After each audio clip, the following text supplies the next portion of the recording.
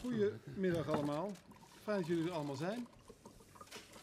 Het zal voor de meeste van jullie in het plenaire deel hier ook nog een fotomoment. Dus dan kunnen er ook nog naar hartelust foto's worden gemaakt. Nou, we beginnen met een uh, vraag voor de bondscoach Ronald Koeman. De heren die eerst zelf voordat we gingen vragen stellen en wat zouden vertellen, dat is best wel een slordige fout. Treden uh, heb ik u, dat was overigens een iets uh, geringer aantal dan nu, uh. Ja, dat, dat gaat gepaard met, met bloed, zweet en tranen.